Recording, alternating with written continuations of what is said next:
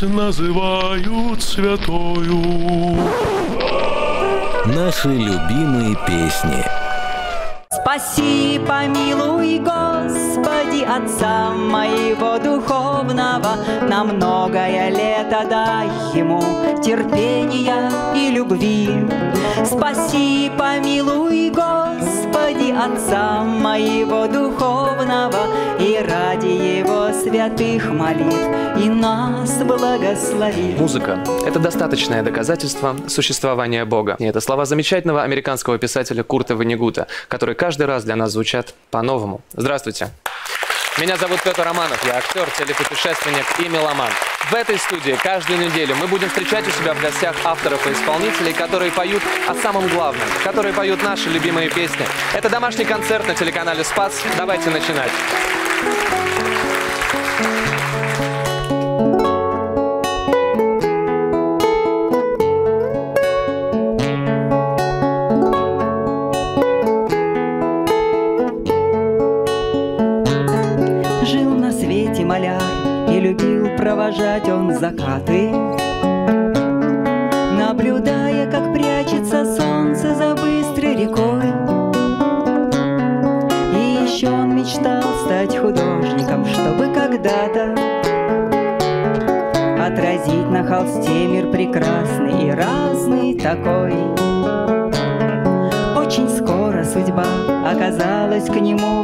Благосклонной.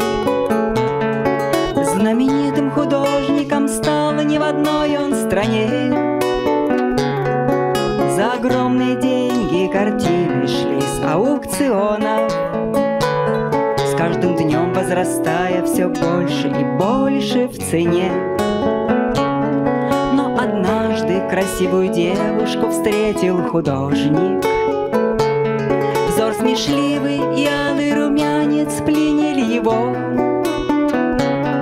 И решил, что ее отпустить ни за что он не сможет. Если не передаст на холсте этот образ живой Он ее рисовал вдохновенно и самозабвенно. И портрет получился таким, что сравнения нет Посмотрела она и сказала вдруг проникновенно.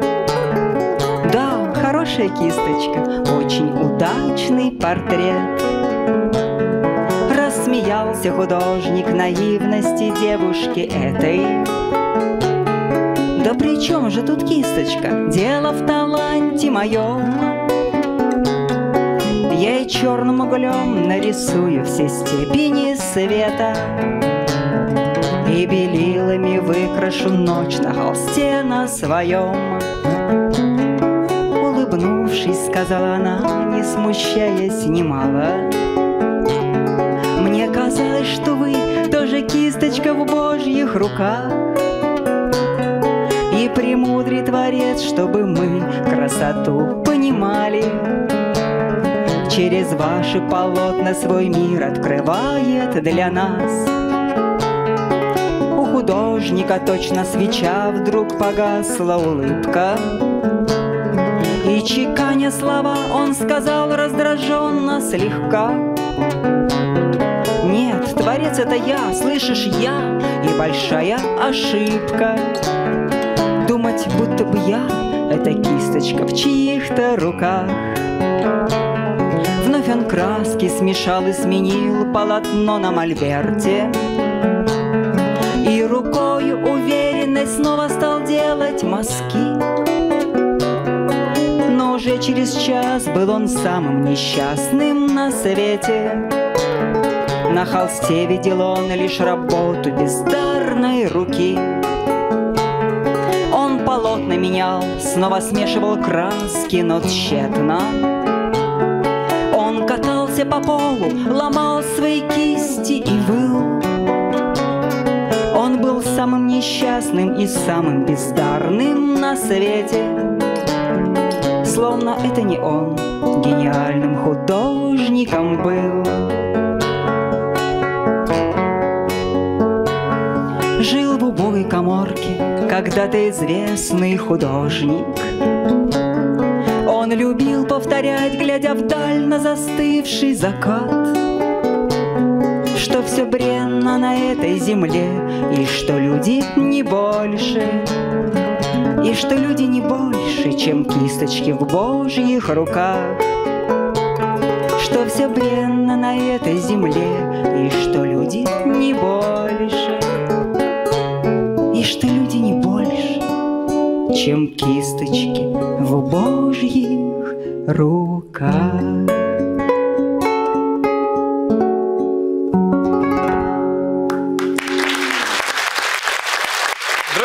Ваши аплодисменты. Приветствуем замечательную артистку, автора собственных песен Светлана Копылова, героиня нашей сегодняшней передачи. Светлана, здравствуйте.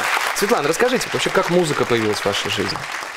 Мои песни пели Кристина Арбакайте, Игорь Саруханов, Вячеслав Малежик, впоследствии Валентина Толкунова. Так. А Потом, значит, а, стала писать духовные песни и начала их предлагать духовным исполнителям.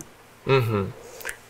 Ни один духовный исполнитель почему-то не обратил А, внимания. не обращал внимания. И тогда мне мои родные близкие стали говорить, Света, пой сама. Я говорю, как я буду петь? У меня ни голоса нет, ни образования музыкального. Но благо э, игра на гитаре все-таки с 15 лет была мной освоена, и э, тому виной, виновником является мальчик Леша Соколов из города Иркутска, где мы вместе учились в авиационном техникуме. Это было до так того. всё- А на кого вы учились на авиационном Э, техникуме? В дипломе у меня написано техник-механик по самолетостроению. Первым делом, первым делом самолеты, ну а девушки потом. Я клепала эти самолеты и думала, господи, боже мой, для чего ты меня сюда поставил? Совершенно не мое. Когда Агата Кристи, да, когда она стояла и мыла посуду, она ни о чем, кроме как об убийстве, думать не могла. И начала писать свои романы. Я её То понимаю. вот. А вы клепали самолеты, и да? Но вы-то думали о возвышенном, о том, что вы хотите стать актрисой.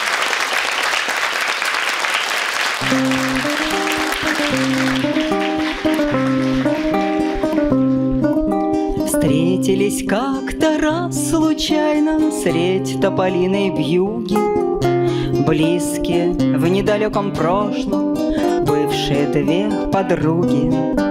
Первую звали жизнь, вторая Смертью звалась с рождения Модница жизнь в красивом платье Смерть в строгом облачении.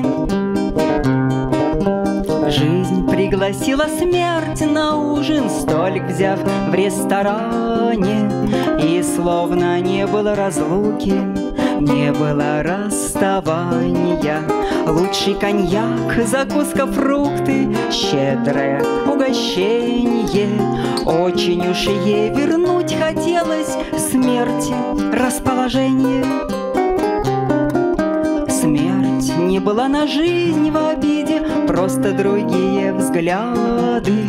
И подружиться с ней, пожалуй, снова была бы рада. Кстати, коньяк хороший, правда, чокнулись все по чину, но обойти не удалось им ссоры былой причины. Вспомнили, как ночь подруги спорили, доредили, как златокудрого младенца между собой делили. Как невозможно было слушать матери плач из окон, Смерть, почему его взяла ты, разве пожить не мог? И, призадумавшись немного, жизни она сказала, Господом было мне открыто, что его ожидало. Если б ребенок жив остался, стал бы тогда убийцей, И, очерствев душой, не смог бы к Господу обратиться. Надо же, так тут жизнь вздохнула, и твоя не знала. Ну а ты помнишь ту старуху, что тебя призывала? И как мы с ней тогда просили эти прервать мучения, но только ты призывом нашим не придала значения. Да, отвечала смерть устала, помню я ту старуху, Это она своим проклятием Дочь обрекла на муку. Надо успеть приехать было Дочери издалека, Чтоб та сняла с нее проклятие Перед дорогой к Богу. Жизнь головою покачала, Этого я не знала. Но вот тот сорокалетний пожил мало. Мало сказала смерть сурова, Только наделал много, И никогда уже не стал он каяться перед Богом. Тут телефон запел у смерти Тихий мотив церковный Стало лицо ее бледнее Голос спокойным, ровным извинившись перед жизнью Чмокнув ее неловко Проговорила, убегая Срочно Командировка Наши любимые песни. Наши любимые песни. Возвращаясь к тому времени, когда вы начали Да. писать песни для Арбакайте, для Саруханова, для Толкуновой, что это были за песни? Где я пела, пела, пела о любви. Кристина. Кристина, Арбакайте. так. И на вас не смотрела. Так это ваши песни, да? Да.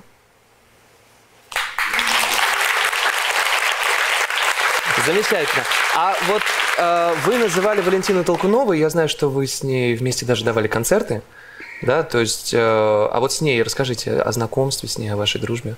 Но нас опять же соединили мои песни. Она услышала их в машине и очень их полюбила и захотела со мной познакомиться. Разыскала меня, позвонила мне. Сама разыскала? Сама, да. Так тут бывает, да? Да, и мы с ней встретились, я приехала к ней домой. Мы с тех пор, а, вот до самой ее смерти, общались. И слава богу, она ушла как христианка, и мне очень радостно. И мы сняли фильм о ней «Любовь побеждает смерть», а, Так. где я, сидя у камина, в течение часа рассказываю. Вы же член Союза кинематографистов Да. России, да, насколько я знаю. Это, это вы сами снимали этот фильм про нее? Ну, э, я как бы эм, была с автором, так скажем. И это экспромт был. У меня не было специального текста. То есть такая, это больше документальная это лента. да, это документальный, да. Она пела много ваших песен, да, Толкунова? Ну, не Может так быть, много, пять. Пять. Это много, хорошо. Да? И все наши любимые. Э, хотелось бы посвятить песню нашим мамам. Это мы особенно любим на этой передаче. Да. Спасибо. Спасибо вам большое. Давайте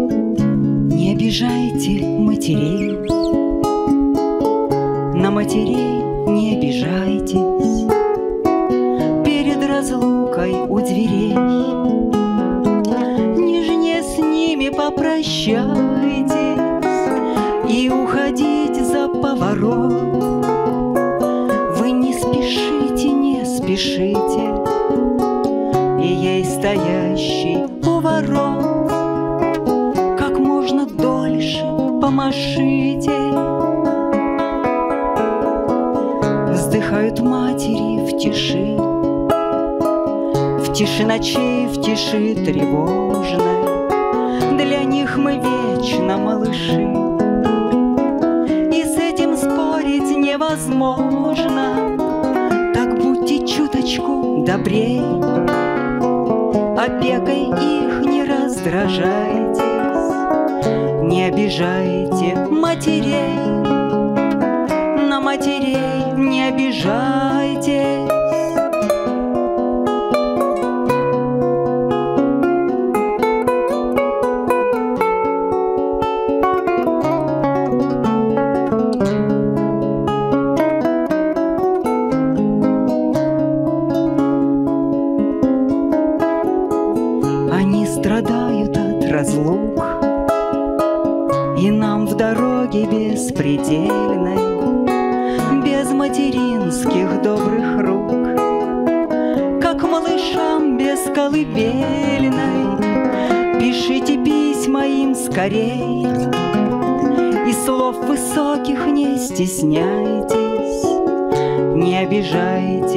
Матерей, На матерей не обижайтесь, Пишите письма им скорей, и слов высоких не стесняйтесь, Не обижайте матерей.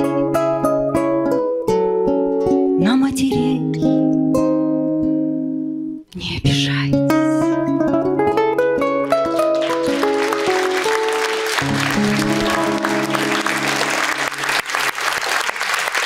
Потрясающе. Потрясающе. Спасибо вам большое за эту песню.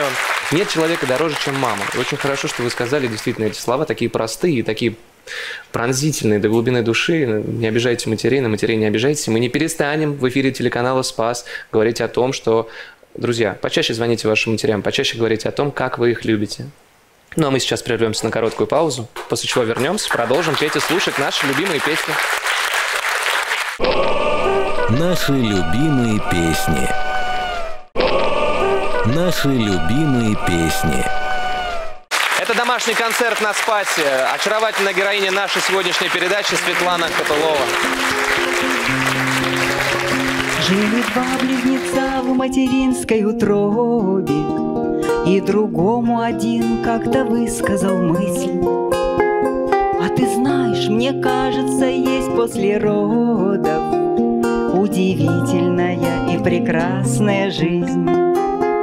И другой, потянувшись под маленьким сводом, Тут улыбки беззубой своей не сдержал.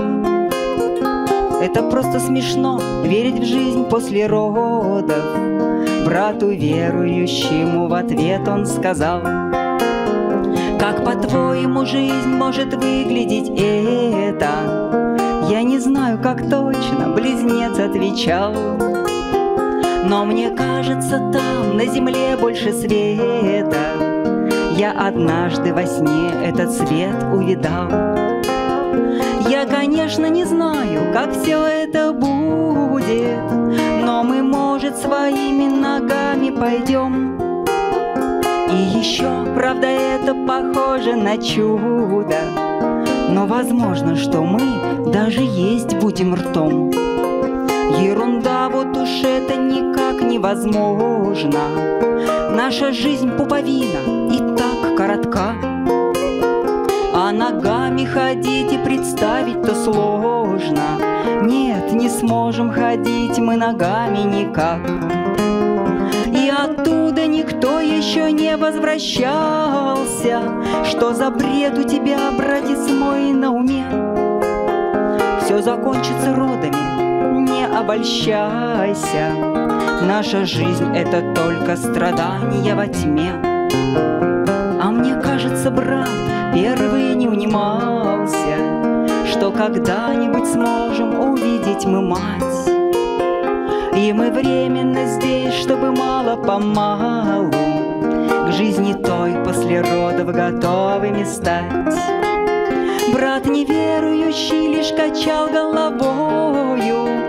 Верить в мать это просто за гранью идей Я не вижу ее, значит нет ее вовсе. Ну скажи, если умный, скажи, она где? Как ответить тебе, братец, даже не знаю Но я чувствую сердцем заботу ее и ночами, когда все вокруг затихает, Она гладит наш мир и тихонько поет. Все наполнено ею, и радость такая, Словно в ней пребываю и ею живу. И хоть точно про жизнь после родов не знаю, Но я верю, что будет она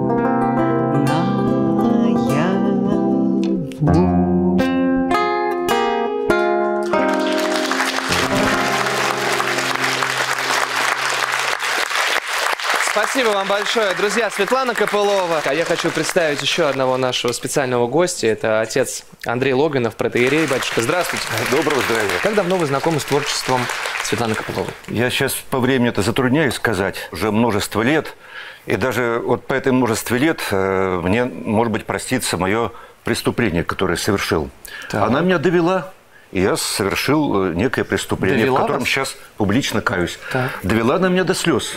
И до обильных слез. Мы, э, я думаю, все сейчас можем покаяться перед Светланой, что мы все, вы нас действительно все довели. Это Все- еще не все. нас да. вы нас это еще не довели. все. Это правда. Потом э, с помощью этого диска я довел э, наших прихожан в воскресной школе. То есть я собрал э, вот, ну, людей, ну, мы по- постоянно собирались по воскресеньям, по вечерам. И все слышали, слушали, э, плакали, рыдали. И, конечно, а где это можно, где это можно взять? И я занялся экономическим э, преступлением, я стал делать э, копии. Ну, я, не, я не знал, где найти автора, и, и- и, ну, и будут ли они в продаже вообще когда-нибудь. А хотелось-то всех... Ну, единственное, что я их не продавал никогда. Нет, я, я их только дарил. Слушайте, ну это чудесная Но это история. Вот преступление я- во имя любви. да. Во имя любви Ну такое э, можно. к ее да? творчеству. А вы знаете, что отец Андрей замечательный поэт? Прямо даже вот сходу вот вам подарю вот свою крайнюю книжечку. Я говорю, последнюю крайнюю книжечку. Спасибо вам большое. А, Светлана, как в вашей жизни вера появилась? Всегда была с вами с рождения? Или в какой-то момент действительно пере- пере- произошел тот переворот, как вы говорили, что вы начали писать а, именно духовные тексты и углубляться в духовное пение?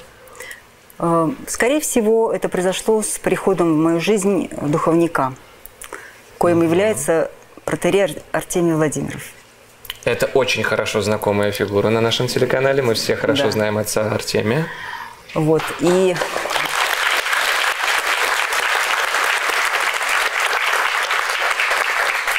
я вдруг в одночасье поняла, что я не могу больше писать э, такие вот бессмысленные песенки. И хочется какой-то глубины, хочется выразить то, что накопилось в душе. Я много читала в то время духовной литературы. Вот. Но я хочу э, сказать все-таки, что некоторые люди персонифицируют меня с моими песнями.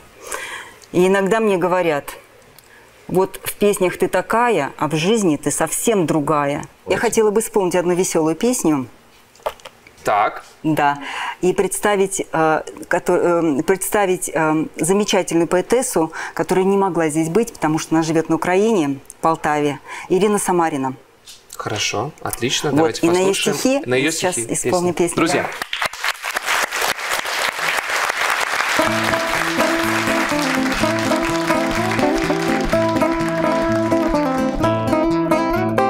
Я старомодна, мне нравятся платья до пяток. Честь и застенчивость и медицина без взяток. Добрые песни, подарки своими руками. Чувства навек и, конечно, венчание в храме. Я старомодна, и роль бизнес-вумен мне чужда. Я выбираю не выгоду, верную дружбу.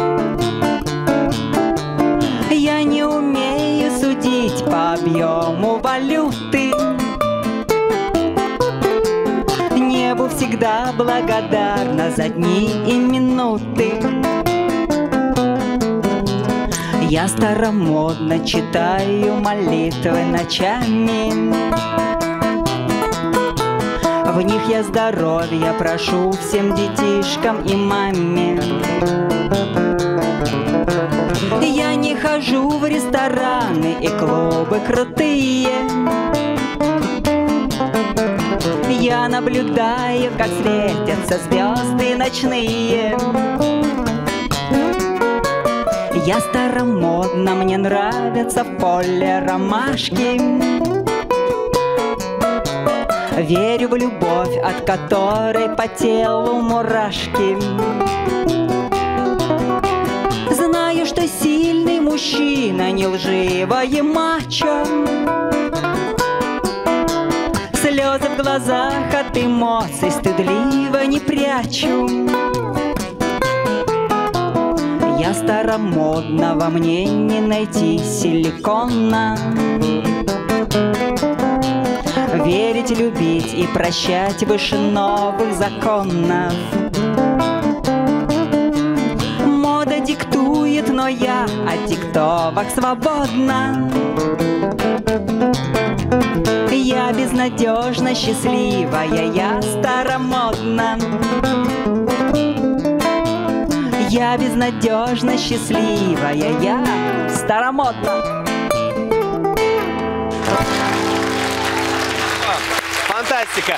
Слушайте, ну дай бог нам всем и каждому сохранять эту старомодность у себя в сердце и в душе. Да? И, ну, их эти ночные клубы и рестораны. Лучше приходите к нам на домашний концерт на Спасе, чтобы послушать вот такие песни и хотя бы чуть-чуть проникнуться. Сейчас прервемся на короткую паузу, после чего вернемся, продолжим петь и слушать вот такие наши любимые песни. Не переключайтесь. Наши любимые песни. Наши любимые песни. Домашний концерт на Спасе. Героиня нашей сегодняшней передачи очаровательная Светлана Копылова. Песня про нас, про женщин.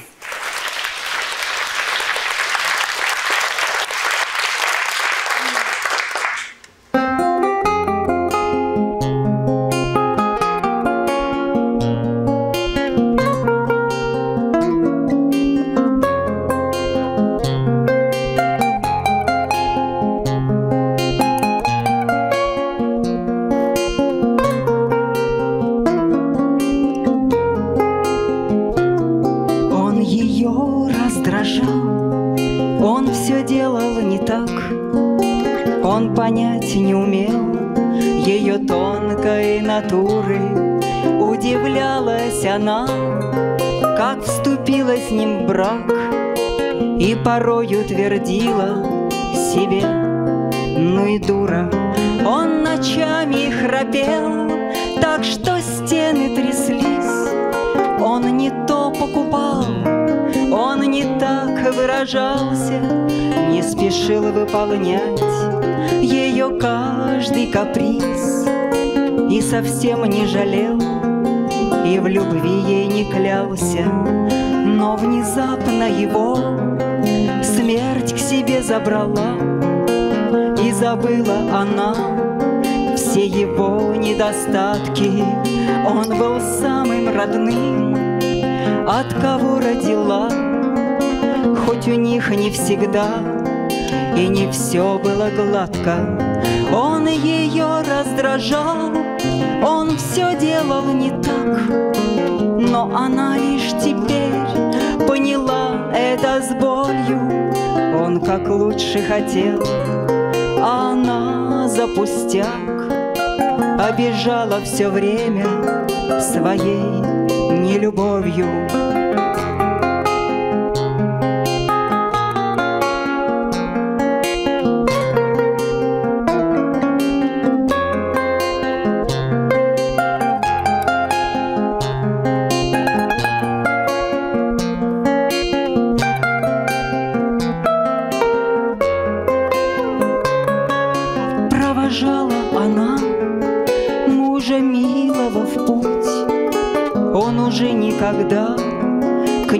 Домой не вернется, И без храпа его ей теперь не уснуть. И на части ее сердце скорбно рвется. Он ее раздражал, он все делал не так. Он понять не умел ее тонкой натуры. Если б все ей вернуть,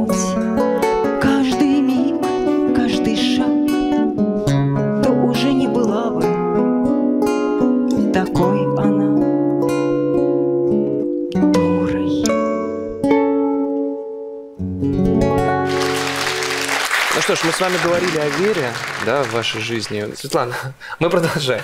Обращаясь к вам.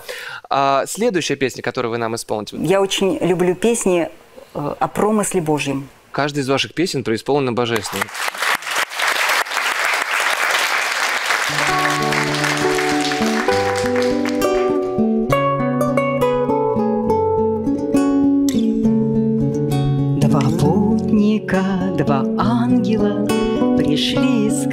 Искать ночлег.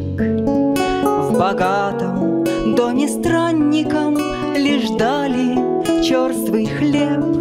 И вместо дома теплого Их проводили вниз. И ночевали около они огромных крыс. В сыром подвале ангелы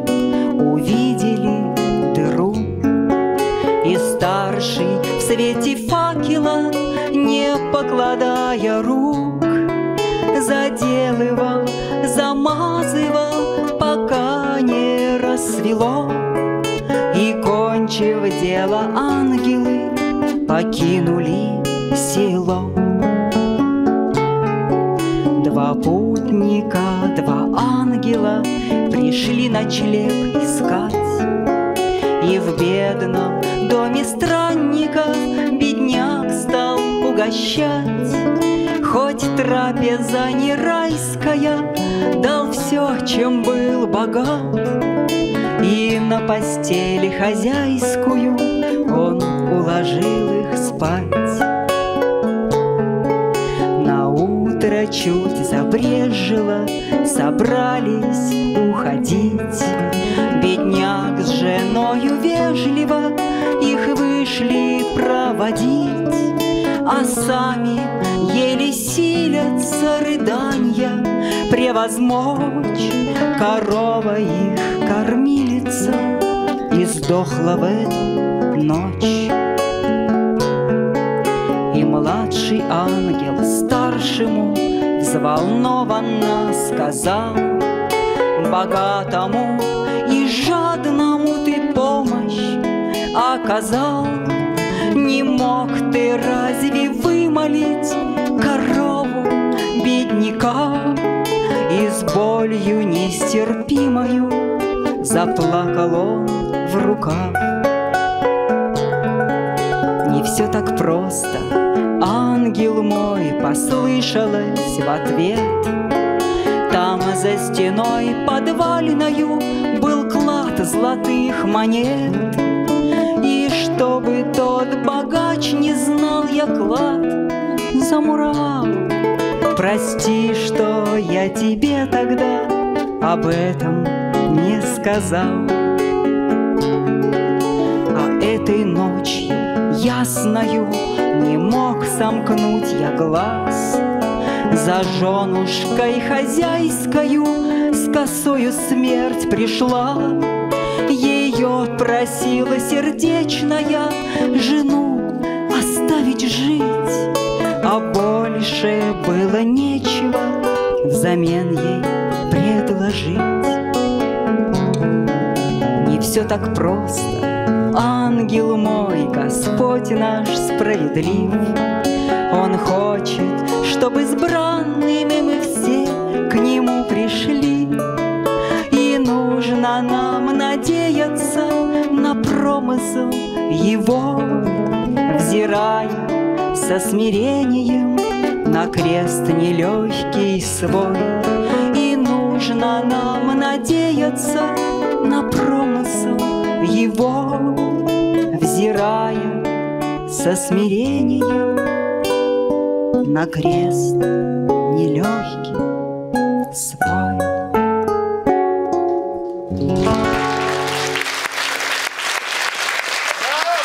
хотел вас спросить, откуда, откуда вы черпаете вдохновение? Вот на написание своих песен, да, на такое исполнение. Вопрос, который все задают и на который я не могу дать точный ответ. Так. Но скажу, что меня вдохновляют интересные сюжеты. Если только я где-то прочитала или кто-то мне рассказал сюжет, у меня уже чешутся руки, Что-то мне уже хочется, да, это все притворить в песню. Вы действительно нас наставляете на путь истины, как бы сейчас это высокопарно не прозвучало. Спасибо вам Господь большое. через песни наставляет.